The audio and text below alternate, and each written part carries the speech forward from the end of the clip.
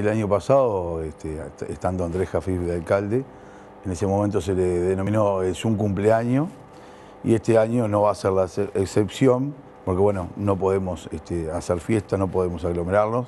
y menos nosotros, el Estado, menos que menos.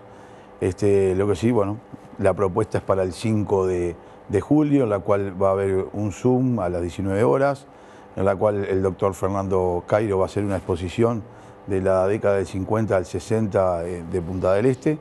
Después, este, con el equipo del municipio, venimos recogiendo relatos de cantidad de gente que hoy está entre nosotros y bueno, y tiene una perspectiva diferente de lo que era el Punta del Este de los 40, a los 50 o de vivencias propias. Ayer estábamos leyendo un libro de historia de Punta del Este, 1904, y estaban hablando lo pujante, el crecimiento de Maldonado y Punta del Este. Hoy pasaron 114 años y sigue el mismo camino Punta del Este, donde hoy es, eh, la oportunidad está para, las familias, donde también en la década del 40, el 50, el 60, que venían las familias a,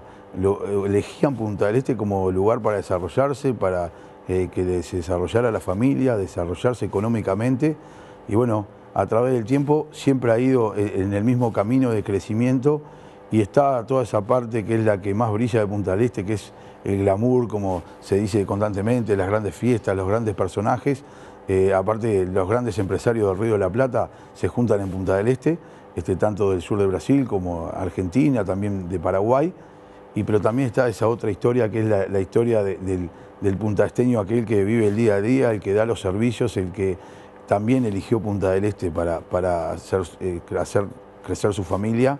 y tiene esa otra parte de la historia que también es la historia de Punta del Este. Es una de las cosas que venimos recopilando con los compañeros del municipio, que bueno, tenemos mucha gente que hoy tiene 83, 85 años, que está, este, eh, habla como si estuviera en el momento, y bueno, eso no, no lo queremos perder.